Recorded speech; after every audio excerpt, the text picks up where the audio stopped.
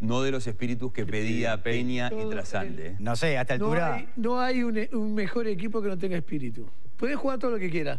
Eh, tomarlo para la joda. auto- No. no sean autocríticos ustedes. Ustedes tienen la razón. Pero no hay un equipo que juegue bien que no tenga espíritu. Un, equi- un equipo con espíritu de, cor- de corazón, de alma, de entrega, de corazón. Se- te, le digo, muchachos, vayan con la cabeza y tiran la pared, van y la tiran. Sos un coach motivacional. ¿Cuál es el- ¿eh? Ustedes Bueno, que son periodistas, ¿cuál es el mejor fútbol? ¿El- el- ¿Acá en el profesional? El inglés. ¿Acá? No. El de en Uruguay, el interior de Uruguay. ¿No, no, ve, los, ¿No ve los partidos de Ofi? ¿Eh? ¿Qué ves en los partidos de En el partido de Ofi se ve... Porque el fútbol... ¿Qué- qué querés siempre se dijo resaltar? que el fútbol era un, un juego de hombres. Sí. Y vos ves que hay cada trancazo en, Pará, en- pará, pero en vos San podés José, elogiar grandes hay- goles. Hay cada trancazo como nos gusta a nosotros. Pero elogia- Como decíamos, elogia como algunos juegan, no- no los afeitaditas, trancazos. algunos, algunos rajuños. Pero eh, elogia acá no hay juegan nada. en el interior, no como ¿Quién? trancan en el interior. ¿Quién? Que vos tenés que elogiar cómo juegan al fútbol, no como trancan. No, como tranca, como, como nos gusta, ¿Qué nos gusta a nosotros. Ustedes esto lo ensayaron. vos, Sí. eh, Esto a nosotros, a nosotros nos, nos gusta, nos gusta un gol, una gran el trancazo definición, firme. Una chilena. Vos Eh, festejás ¿Me dejás decir algo? una patada. ¿Quieren ser autocríticos? Entonces cuando Pues, pues, decís, no ser autocrítico, ¿cómo te vamos a dar la esto? autocrítico de decir de que ustedes están diciendo que jueguen lindo, ¿qué ganamos?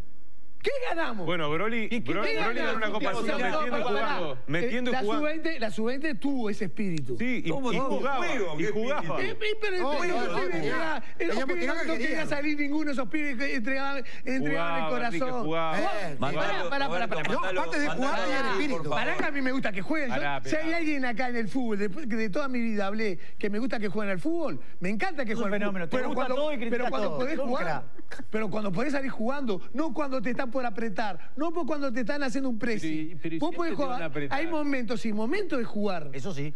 Vamos a mostrar el gol de Darwin Núñez. A ver. Eh, sí, no, no es un trancazo, ojo, ojo por, ojo por los ojos, Sí. Odulio, que si no es tran- trancazo no te gusta. Así anotó. Vos no, me gusta el trancazo. Ah, ¿Cómo bueno, no me va a pero- gustar el trancazo? No, No, pero pero acá no te hay, gustan los goles. trancazo. Acá no hay trancazo, pero hay un golazo. Gol de Darwin jugando bien de nueve, ahí cortando la jugada Exacto. dentro de- del área chica. Exacto, ahí tiene que estar el número 9, tiene que estar en, en el punto penal. Mira Cavani en Boca. Cavani en Boca, corre por todos lados y nunca está en el área.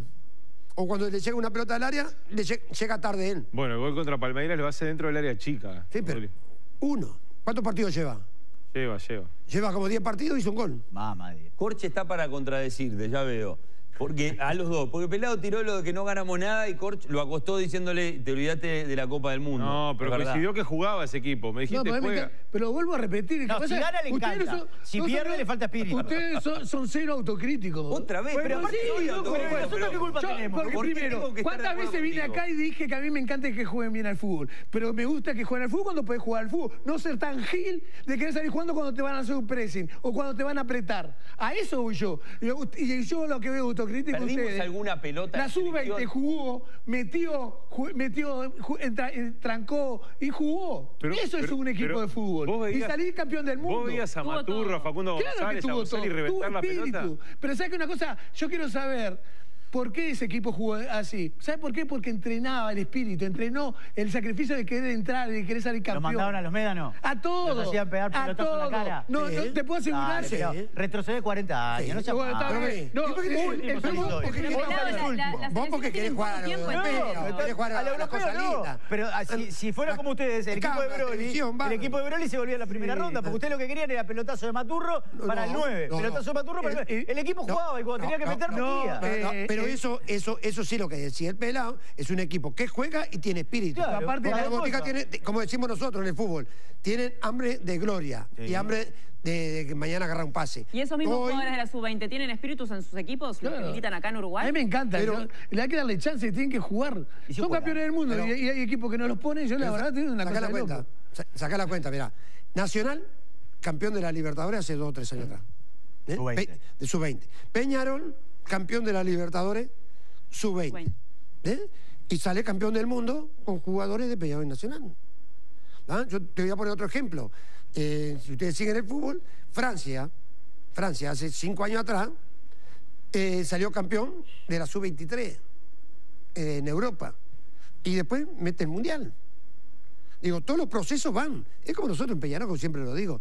Nosotros en Peñarol, eh, apostó Peñarol en el 82 y trajo al Pollo, trajo a Rotti, trajo al Pepe Herrera, al Chueco Perdomo, fue sumando año a año. Lo del 86 87 es Para, el mejor que dieran, dieran el fruto, lo dieran en el 87. Pero, pero jugaba ese Peñarol o era, o era espíritu nomás. No, te- aparte de jugar, Jugaba de muy jugar, bien. ojo, jugar jugaba Da Silva, Y jugaba el bueno. zurdo Viera, después lo demás éramos todo el- espíritu. el- todo espíritu. Todo espíritu, Todo espíritu, vamos para adelante, Escuchá, vamos y vamos. eh, ¿sabes lo que lo llamo al espíritu y que se lo quiero decir a la gente? Vos llegás acá, fuiste con el otro equipo, estás así, el futbolista uruguayo tenía, en los, últimos 20 minutos, le sacaba ventaja.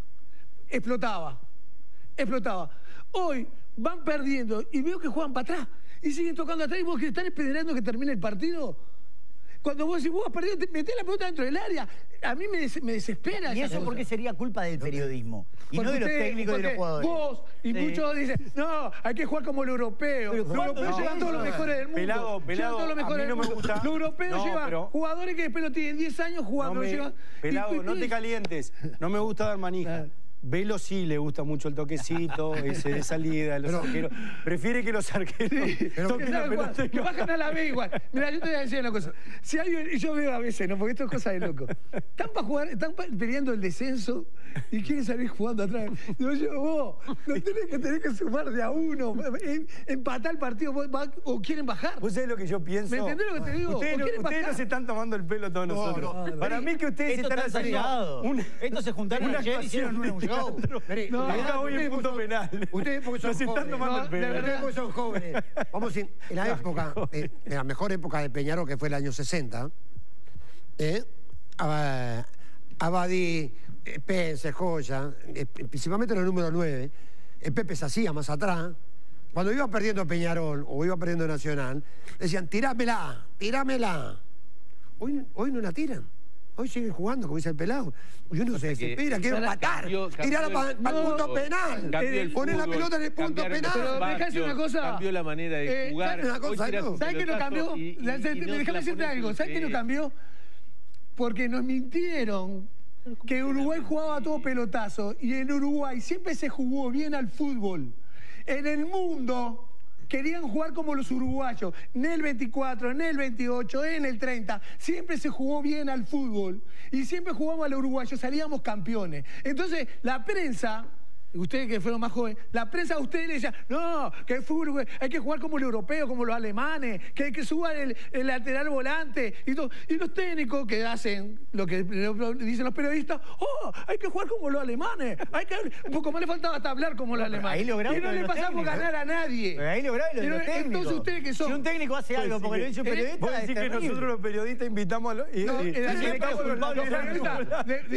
de muchos años para atrás de ustedes, porque ustedes hacen escuela de periodismo. Ustedes escuch- eh, hacen escuela, van escuchando a los periodistas, va, va, va. Entonces, y dicen, no, sí, hay que cambiar. Porque ustedes le dijeron que Uruguay se jugaba mal. Y Uruguay siempre se jugó bien y siempre tuvo ese espíritu de más. ¿Entendés? Ah, pero yo- siempre u- cuando, porque cuando vos me decís Toda siempre vida, toda y te vas al 28, Sí, y del ya- ya, 24, te pierdo, del ya te 30. pierdo el hilo. Vamos, vamos a los últimos 35 años. Bueno, empezaron a, hacer- a jugar como 38. querés que juegue. No, pero lo que ¿Sabes te digo es, pasa? no había a jugar como espíritu. quieren y le ganaron No había a nadie. espíritu en los equipos de Peñarol, de Nacional, de los Todo, últimos de- tiempos. de- de- o es que no juegan bien al fútbol, que les cuesta adaptarse a la El fútbol realidad. uruguayo, el futbolista uruguayo juega bien al fútbol. Pero ponete de acuerdo, porque le Y pegás, después lo tirás para arriba, le pegás, está- tirás para arriba. y se tenés que pegar, pegar, ¿cuál es tu No, problema? no, vos, acá te digo, no, no sabés si ¿Cuál es el criticarlo problema de o pegarle? alabarlo. Lo criticás y lo alabás, lo No, criticás y lo alabás. Porque van a por cosas. uno. Porque vos sabés que una ¿Es cosa... culpa de los técnicos o no es culpa de los técnicos? La van a dos Caes en los periodistas. Más a fácil que eso no hay. Y, porque, Porque- entonces sos- no sos autocrítico. No, pero ¿por qué no? Pues la opinión pero lo que lo tuya- único que falta. La opinión que tuya es la que más pero vale. Eso es un fenómeno. ¿Sabés ¿Querés que el fútbol No, uruguayo... es es El- problema del fútbol uruguayo. Que yo tengo 38 Cuidado el años y hace 38 Ah, que no eh, salen campeones y la culpa es mía. Es lo, es lo No que te dicho decir Pero- siempre. Pero- ¿Sabes lo que es. Los periodistas. No, no. Los periodistas. No, No, no, no. Para mí es verdad lo que dice Mauro. Cuando termine todo esto, lo que dijo Julio, dijo, les voy a contar algo. Los- anuncia Pero- la próxima hora. No- eh, entiendo. Pero quiero ser abogado, quiero ser Yo entiendo. abogado de Pelado ¿Cómo se Peña. llama? 28 O Julio, A ver, Julio, a ver, a ver si está siendo injusto con el pelado porque el No, pelado recién te dijo, déjame hablar. Ah, Parece pero- que no habla. Pero lo, voy a apoyar. No- nosotros, nosotros estamos acostumbrados a salir campeones. ¿Eh? Sí. A, sa- a salir campeones. Vamos a decir, campeones de una manera. Como, como decimos, los europeos juegan eh, el fútbol de ellos Brasil juega el fútbol de ellos, los argentinos juegan el fútbol de ellos, y nosotros siempre jugamos el fútbol nuestro. Hoy han querido cambiar el fútbol nuestro, No sé de cómo. que era, que era 4-3-3, ¿eh? que fue lo que nos dio la gloria, por eso Peñarol es campeón del siglo. ¿Eh? Jugando siempre 4-3-3. Pará, Por- por algo- pará, por algo- por algo- por algo trasante, salim- que lo inventaron, por algo salimos campeones. Nosotros en el 87 salimos campeones porque jugamos 4-3-3. Como se dice, siempre se dice los delanteros. El Pollo, Diego Aguirre, Cabrera, ¿eh? o cuando entraba Villar, o cuando entraba Coquito. Siempre jugamos 4-3-3. Los No mejores, gusta- no los mejores logros del fútbol No uruguayo me es encanta 4-3-3. Bielsa, ¿eh? Ahora quieren jugar 4-4-2. 4-4-2 ya es defensivo, vos que sabés, Y es Bielsa como defensivo. Pero Bielsa juega 4-4-2 4-3-3. es defensivo. Pero Bielsa ¿Eh? no está haciendo exactamente lo mismo. nadie dice nada de 4-4-2. Los dos, los dos, los dos nueve, los dos de punta, van a buscar la pelota a los corners. ¿Y dónde queda el nueve acá para hacer el gol? ¿Dónde queda el nueve? Decime, ¿dónde queda el nueve? Yo creo. ¿Dónde, ¿Dónde jugaba Morena eh, con el yo- yo te 4-3-3? entiendo ¿Dónde jugaba que- Morena? Yo te entiendo lo que vos decís. Morena jugaba acá área. Vitorino cuando Hizo jugaba se- Vica, Hizo de Morales. Pinocho Vargas, el Pato Castro con, con Carlito de Lima. Hoy quiere jugar ¿A usted, le europeo. gusta, ¿A usted le, gusta, le gustaba un fútbol de otra época que trajo títulos? Eso no se puede discutir. No es que de otra Eh, época, no, es la misma época de ahora. No, Lo único no, que tenemos que no, no, no Mirá, ustedes mismos No hablan, mismo. para ustedes mismos hablan que cada seis meses se venden jugadores, entonces tenés que tener una identidad. ¿Cuál es la identidad del fútbol uruguayo? Vamos a enseñarle primero que si estás cansado, corre más, 20 minutos más. Estás cansado, no existe el cansancio. Primero, dejate de botón rojo, botón azul y seguir Para, entregando. para, para un poquito porque ya la gente no entiende nada. Es el ¿Qué botón. ¡En su pie! ¡En su pie! ¿Qué pasa su tiene? ¿cuál te- No lo puedo ver de su ¿Por qué le levantaste ese centro? Sí, no me lo puedo No era ver de su tiene. De su tiene, no. Imagínate. Que jueguen las mujeres de su. Ay, vení. Quiere para apretarse de los senos, pero no los hombres. Se saca y, y le digo. ¿para qué? No, porque el preparador físico le dice cuánto corrió. ¿Qué me importa? Que corra hasta que se mate corriendo. Otra, otra más, otra más te digo, otra más. Ve, Yo, vamos que nosotros en la época nuestra Sí. teníamos, eh, te daba el masajita, te daba, con delimento. ¿Eh? Te quemaba las piernas, te dejaba caliente. Sí. Hoy se ponen cremita, ni vea. Eh, afeitadito. Me quiero matar. Afeitadito me quiero Sí, matar. para si eso es lo moderno, si eso es lo moderno y hay que entenderlo, lo entiendo, pero que tengan espíritu de jugar, de querer jugar, de ganar, de entrar a la cancha a ganar y que no existe el cansancio, están entrenados, comen, tienen toda la vitamina del mundo, toman todo lo mejor, no existe cansancio, no existe, corran, corran, corran. Por favor, ¿Uno y no se, que- tire, no se tiren para marcar. Tengan técnica la marca. Tenete- por favor, al chino que lo quiero, lo adoro. Sí, se Y nota, se y- nota, y se sí, nota. claro que lo adoro. Sí. Me- yo soy crítico para que lo, si lo quiere entender, le va a servir. en serio contigo. Ojalá, Imposible. ojalá que el chino entienda lo que le quiero decir. Jugar como quiera jugar, pero enseñarle a los jugadores que tienen que tener espíritu, que no existe el cansancio, que no te salga alguien porque le pegaron un codazo en un- o un pelotazo en la cara, que se salen, te, sal- te salen de la cancha por un pelotazo. ¿Saben los- los pelotazos con la pelota que jugábamos nosotros de cuero? Que te, te lloraban las lágrimas, llorá. ¿Cuál es el problema? Llorá, pero no sacas de la cancha. Mirá, Seguime jugando. Hoy, hoy le ponen la mano acá, le ponen la mano acá y hace así, mira. Yo tengo acá la ceja partida. Todos los Tengo zagueros. la ceja partida. Y vos partiste unos cuantos acá tengo también. 14 puntos. ¿Y, qué, y eso te hace mejor jugador? Digo, no, no, No, pero no- jugador. no no- quería salir de la no cancha. quería salir de la cancha. No quería salir. Hoy salen. Hoy salen de la cancha por un roce. Espero que, que me entiendan lo que quiero decir. No sé si porque al final estoy hablando hasta una hora. Espero que entiendan lo que quiero decir. Yo sé que la gente entiende.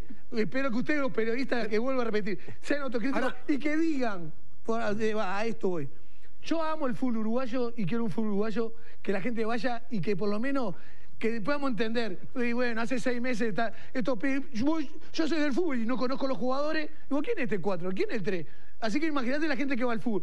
Que Claro. por lo menos vean ese espíritu de Ustedes entrega. ¿A ustedes les encanta, por ejemplo, cuando los jugadores se tiran a, a trancar con la cabeza? Seguro, ¿eh? Claro, va- está bárbaro. No, no, no. Pues, Que se mar- bárbaro. Y no, Digo- vos no, so- no te, no, no sos consciente de los riesgos que a veces asumen haciendo Pero, pero eso, ¿no? Digo, esa digo, la cabeza, eh, eh, se tienen que tirar a en, en trancar. rugby, en que rugby, no se trancar. tira de cabeza.